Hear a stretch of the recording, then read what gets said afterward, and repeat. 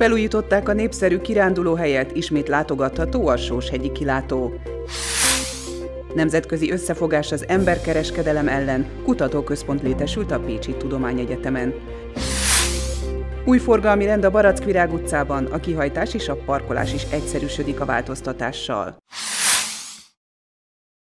Ismét látogatható a Sóshegyi kilátó, az építményt, amely már régóta balesetveszélyes állapotban volt, a Biokom hozta rendbe. Jó ideje már nem is volt látogatható, le volt, le volt zárva. Ennek az oka az, hogy a tetőszerkezete az az elmúlt időszakban olyan mértékben rongálódott meg, hogy élet és balesetveszélyes volt, de hát emellett grafitik csúfították el a, a, az épületet, illetve a, a, a faszerkezet is már kívánni, hagyott, kívánni valót hagyott maga után, tehát ezt is mindenképpen meg kellett újítanunk. A projekt 4 millió forintból valósult meg. A felújításhoz Csaba István önkormányzati képviselő is hozzájárult saját keretéből, annak ellenére, hogy az ő körzete a város másik végén található. Úgy gondolom, hogy ez tipikusan egy olyan felújítás, egy olyan projekt, ami a város egészét érinti. Így ugyanúgy fel tud jönni a kirándulni vágyó kirándulni vágyok fel tudnak jönni Nagyárpádról, Postavölgyből, vagy akár régi kertvárosból is, mint az, aki a belvárosban vagy, a, vagy az Uránvárosban él. Siposné Bikali Éva önkormányzati képviselőkörzetek közel van a kilátóhoz. Televíziónknak elmondta, túrázóként is szívesen ellátogat majd erre a területre. Nem vagyok nagy túrázó, de az édesanyám közel a 70-hez még képes egy-egy hétvégén 16-18 kilométert is túrázni, és sok esetben viszi magával a gyermekeimet, és azt gondolom, hogy a következő túra célpont az ide fog vezetni. És hát ha már egyszer itt voltam ezen az átadón, és az körzetem határán van, akkor úgy gondolom, hogy most ebben az esetben én is túráz, túrásként fogok visszajönni ide a családostól, és mutatom meg a gyerekeimnek, az édesanyámnak is, hogy micsoda a csoda történt itt. Sajgó György önkormányzati képviselő úgy nyilatkozott, nagyra értékeli ezt a fejlesztést, hiszen kellemes kikapcsolódást nyújthat a természetkedvelők számára. Azt gondoljuk, hogy nem körzeti összefogás, hanem városi összefogás, hiszen város érdekében történt ez a felújítás, és hogy minél több Pécsi ide feljöjjön, fellátogasson, aminek én is személy szerint nagyon örülök, hiszen gyerekkoromban jártam itt utoljára, és azért jó érzésekkel töltött el, hogy újra ide feljöhettem. A Sóshegyi kilátó a Pintér János Park megújítási program keretében szépülhetett meg. A munkák során a Biokom nem csak az építmény villámvédelméről és graffiti mentesítéséről gondoskodott, de annak közvetlen környezetét is felújította. Így többek között tűzrakó, szalonnasütőhelyet alakítottak ki, valamint asztalokat, padokat és egy információs táblát is kihelyeztek a túrázók számára. Nemzetközi Kutatóközpont létesült a Pécsi Tudományegyetem jogi karán. A Holland Királyság Budapesti Nagykövetségével, Magyarország Hágai Nagykövetségével és a Holland Rendőrséggel partnerségben létrejövő projekt a tudomány eszközeivel vizsgálja majd az emberkereskedelem elleni küzdelem lehetőségeit. Az erről szóló szándéknyilatkozatot csütörtökön írták alá a Baranyai megyeszékhelyen. Azért utaztam Pécsre, hogy aláírjam a szándéknyilatkozatot egy olyan kutatási projektben való együttműködésről, amelynek témája az emberkereskedelem. Mindannyiunkat érint, akár forrásországként, tranzitországként, célországként, ezért le kell küzdenünk ezt a szörnyű jelenséget, és további módszereket kell találnunk azáltal, hogy tudományos forrásokat biztosítunk ennek a problémának a kezelésére. Professzor Fábián Adrián, a jogi kar dékánya elmondta, a kutatóközpontnak köszönhetően gyakorlati szakemberekkel is bővül majd az egyetem. Már hosszú évek óta foglalkoznak a jogi kari oktató, kutató kollégák a szervezett bűnözés emberkereskedelem témakörével. Sikerült ebbe olyan nemzetközi partnereket a holland részről bevonni, ami valóban élővé teszi ezt az együttműködést, ami pedig a nemzetközi kibontakozást illeti elmélet és gyakorlat találkozhat. Abban bízunk, hogy olyan eredmények születnek ebből a nemzetközi együttműködésből, amelyek valóban segítenek az emberkereskedelem, mint bűnözési problémakörnek a megoldásában.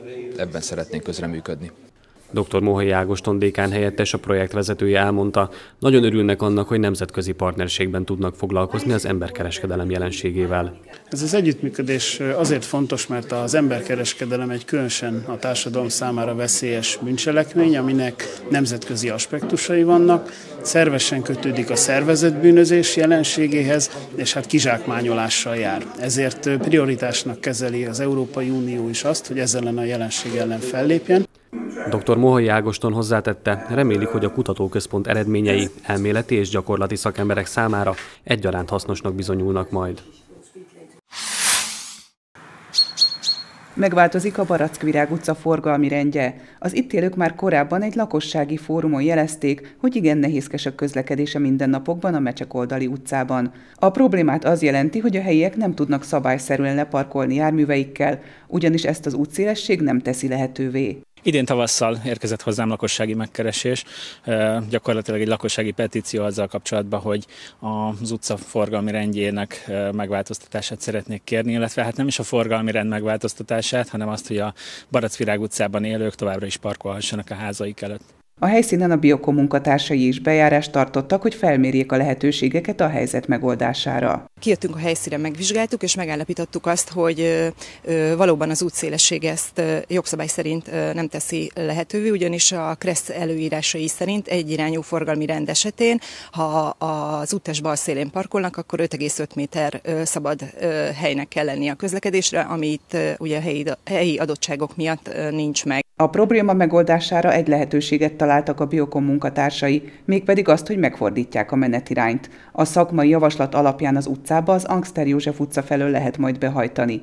Ezzel nem csak a parkolás helyzete rendeződik az utcában, hanem a kihajtás biztonsága is növekszik majd. Így ugyanis beláthatóbb helyen lehet majd kihajtani a Jurisics Miklós utcára. A Kommunális Bizottság elfogadta a forgalmi rend változtatását, ezért a szükséges közúti táblákat a Biokom munkatársai már meg is rendelték, amelyeket a közeljövőben helyeznek majd ki. Emellett burkolati jeleket is felfestenek majd az utcában.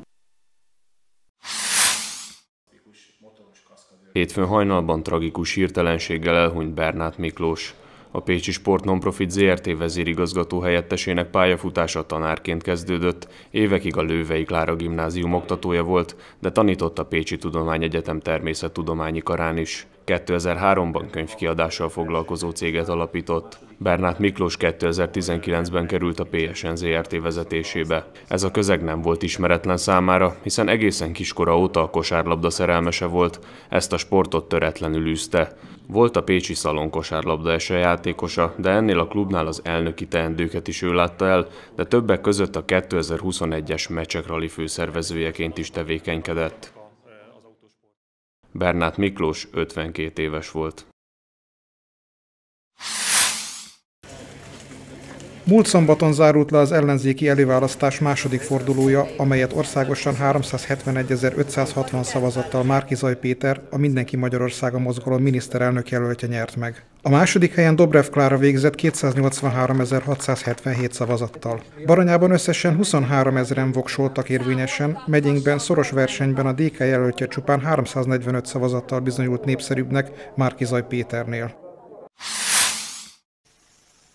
Ismét ülésezett kedden Pécs megyei jogú városközgyűlése. A nap egyik nagy vitáját a szervezeti és működési szabályzatról szóló rendelet módosítása váltotta ki. Az előterjesztéshez kapcsolódóan ugyanis két momentumos képviselőt is visszahívtak bizottsági tisztségükből.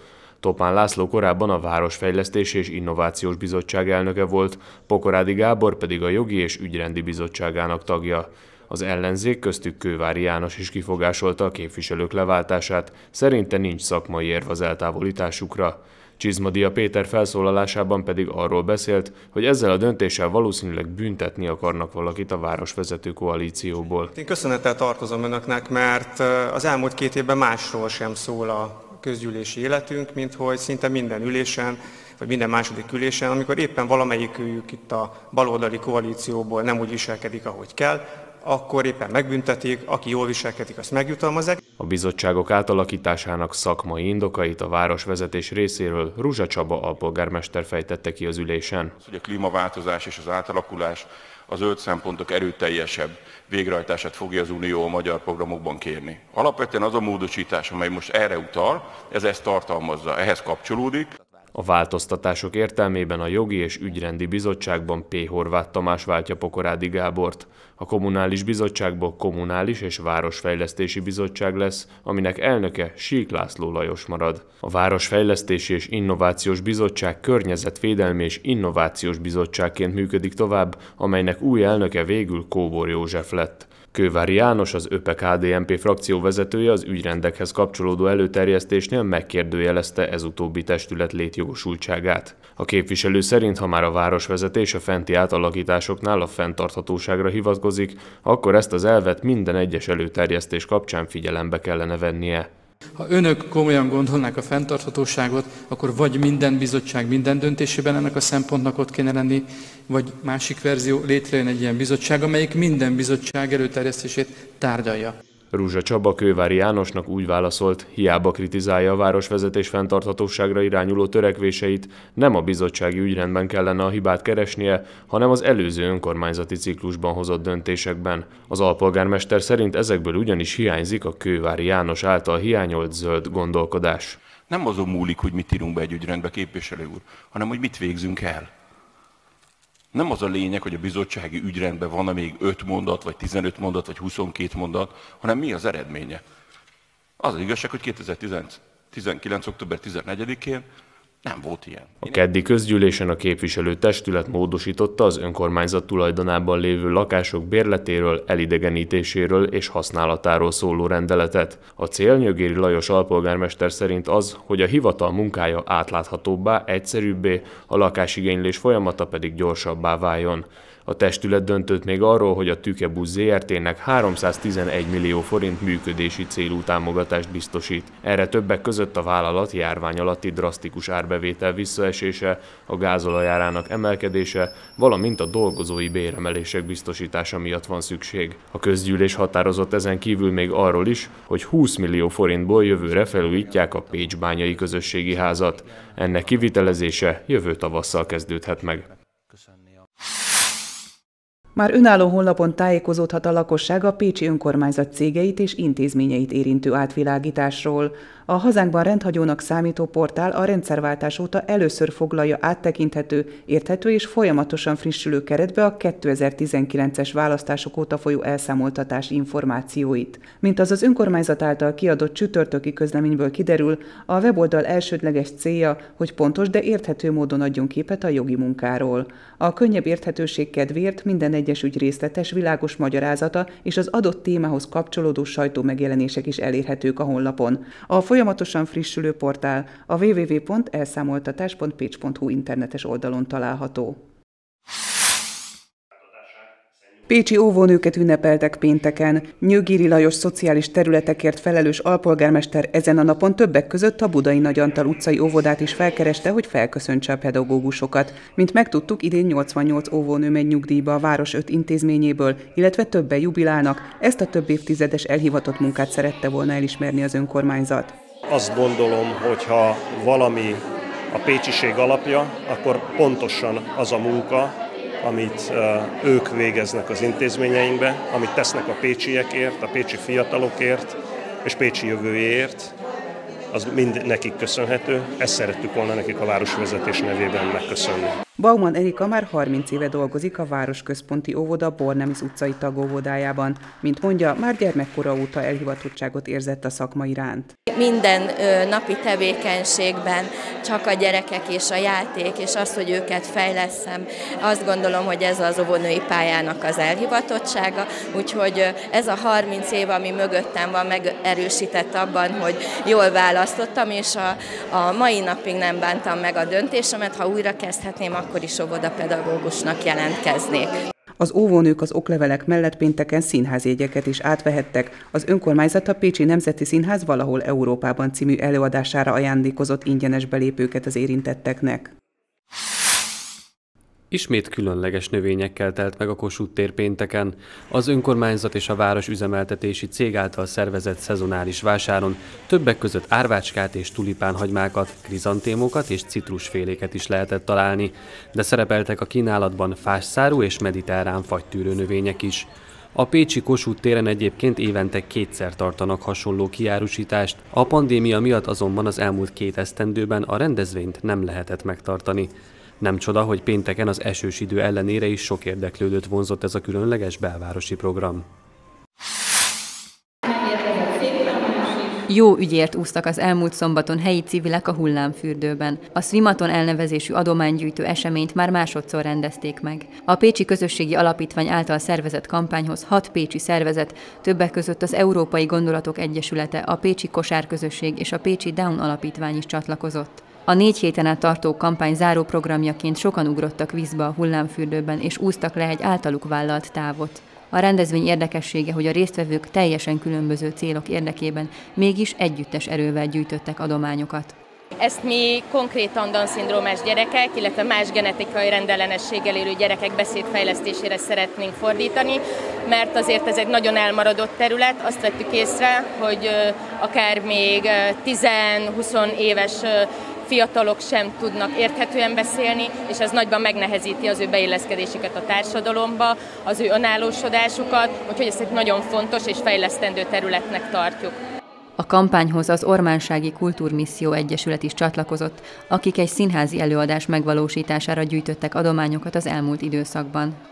Egy komplex színházi nevelési előadást szeretnénk létrehozni a Tavasz ébredése című drámából kiindulva, amit az ormánságban élő hátrányos helyzetű középiskoláskorú gyerekeknek szeretnénk majd elvinni.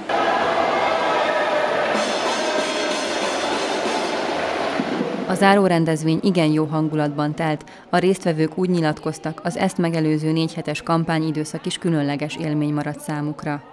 Azt hiszem, hogy nagyon jó érzés volt, mert megint az történt, hogy amikor az ember elvállal egy ilyet, akkor ő tudja, hogy miért vállalja, mert hisz ebben, mert tudja, hogy fontos, ugye, ami, ami, amire az pénzt kér.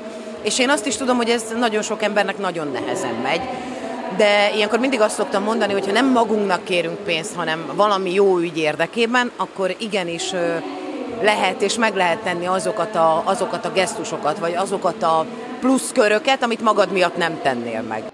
Mint azt megtudtuk, amellett, hogy jó élményeket és tapasztalatokat gyűjtöttek a résztvevők a kampány során, a Pécsi Közösségi Alapítvány életében ez volt az eddigi legsikeresebb ilyen kezdeményezés.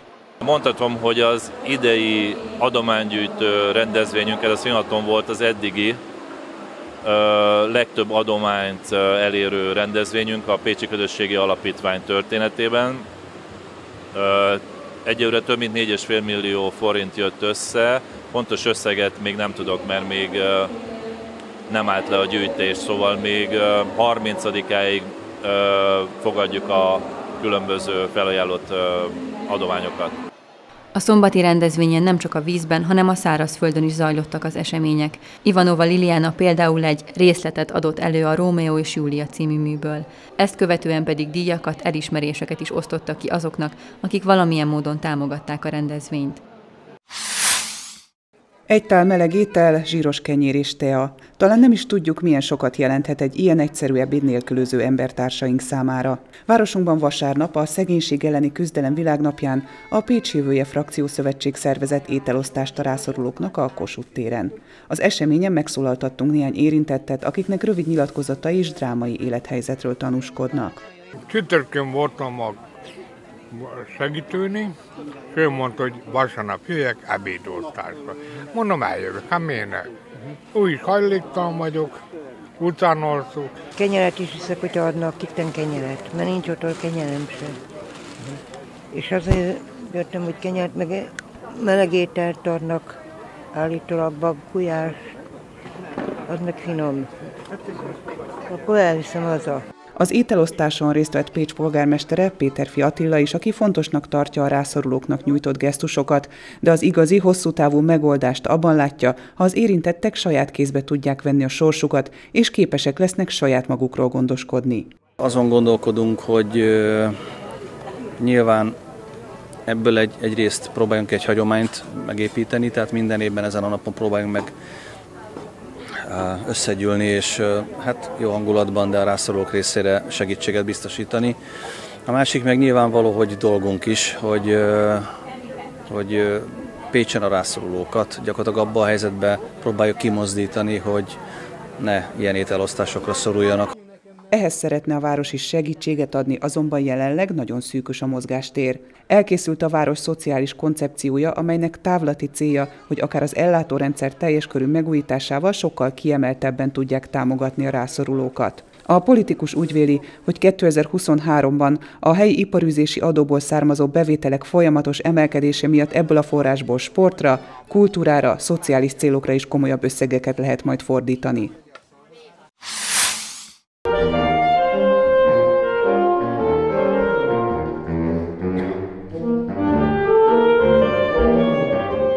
Ünnepélyes keretek között emlékeztek meg a Pécsi Rotári Klub újraalapításának 30. évfordulójáról a Hotel Palatinusban a múlt pénteken. A szervezet 1928-ban alakult meg, tagjainak sorában a Zsolnai, a Hamerli és a Litke család is képviseltette magát. A klub, hasonlóan a magyarországi többi csoporthoz a második világháború után a szocializmus évtizedeiben nem működhetett, de 1991-ben újra alapították. Fő tevékenységi köre a jótékonyságra alapul, elsősorban a fiataloknak segítenek. Dr. Kalmár Nagykároly elnök szerint ez az alkalom ünnep és számvetés is egyben. Kezdettől fogva nagyon sok fiatalt segítettünk egy-egy éves cserediák programban Amerikába, Japánba, Dél-Amerikába, akik utána, mikor hazajöttek, 16-18 éves fiatalokról van szó, tökéletesen beszélik a fogadó ország nyelvét, és megmaradnak a kapcsolataik. Később, amikor már elismert szakemberek lesznek, akkor is a külföldi, a régi barát, a kinti barátokkal tartják a kapcsolatot. Tehát ez egy nemzetközi kapcsolatrendszert jelent. A Rotári Klub emellett minden évben 20-25 rászoruló általános és középiskolás gyermek számára ad 100 ezer forint értékű ajándékot, a tehetséges fiataloknak pedig rotári ösztöndíjakat ítélnek oda.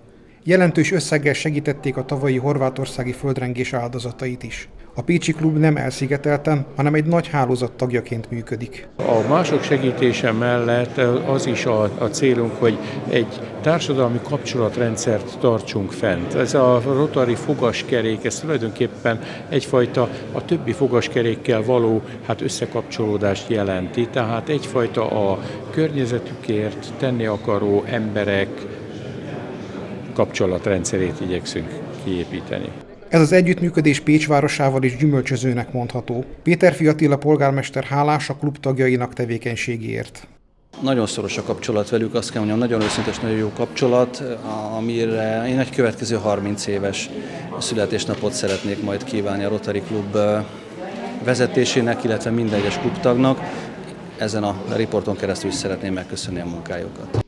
Mint megtudtuk, a klub munkája a jubileumi megemlékezést követően újult erővel folytatódik, hiszen lesz ösztöndíj program, megtartják a hagyományos rotári adventet, és kiosztják a rotári díjakat is. Mindennek anyagi alapjait az ismerősök, barátok, jó szándékú segítők, a klubtagok adományai, valamint a rotári rendezvényekből befolyó bevételek teremtik meg.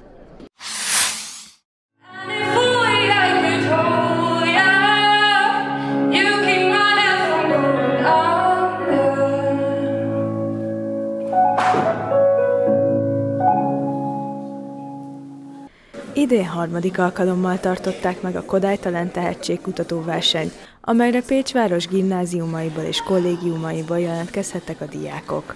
Stábunkkal az Apácai Nevelési Központ színháztermébe rendezett döntőre látogattunk el.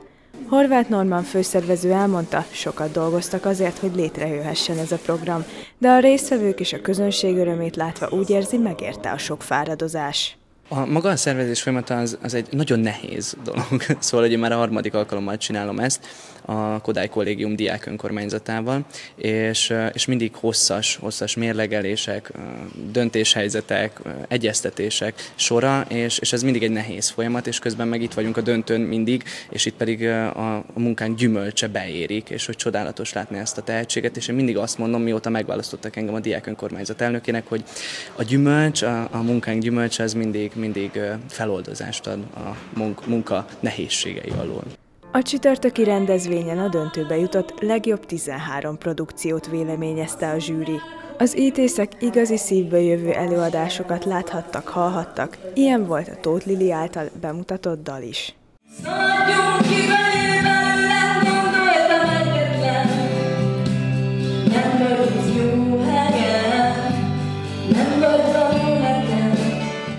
Azért jelentkeztem a talentre, mert nagyon szeretek előadni, másoknak énekelni, és unblock énekelni, és a Queen Bee-től a Most múlik pontosan című számot hoztam, mert közel áll a szívemhez, és jól érzem magam, mikor ezt éneklem. A zsűri egyik tagja Pór András, Báj Alexis a Slep basszusgitárosa volt.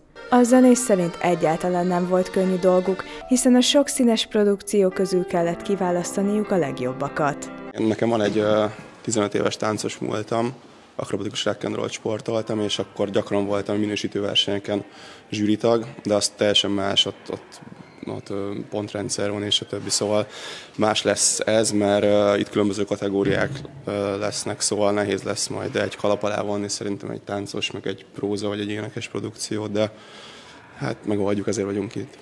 A Kodály Talent idén is nagy sikert aratott, így most már biztos, hogy jövőre is megtartják a pécsi kollégiumok és középiskolások tehetségkutató versenyét.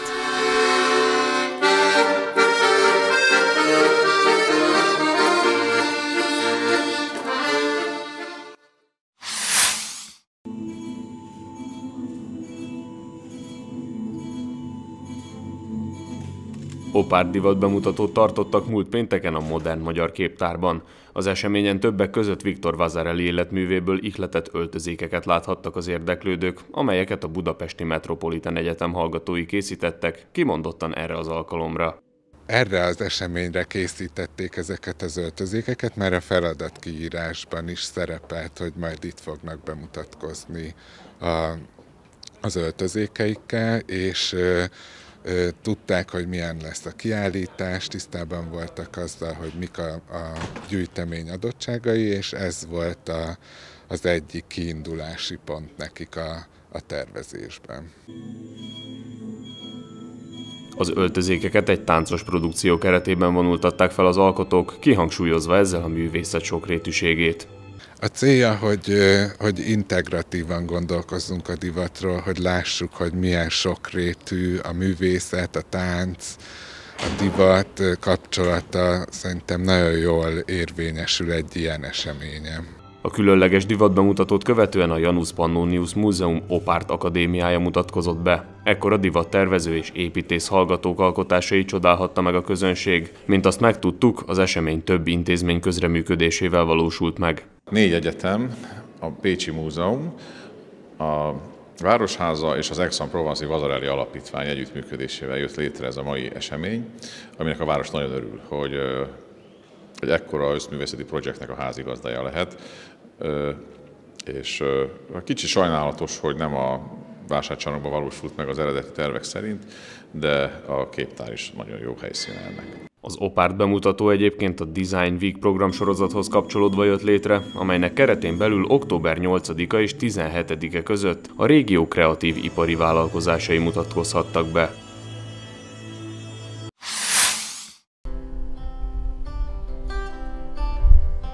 Ősbemutatót tartottak múlt pénteken a Pécsi Nemzeti Színházban. Az Ökör, azaz az összes kötelező röviden című előadás érdekessége abban rejlik, hogy kötelező olvasmányokból, így például a Rómeó és Júliából, vagy Nyilas Misi történetéből dolgoz fel részleteket. Enyedi Éva kortás darabja tehát néhány szempontból biztosan különbözik egy hagyományos drámától.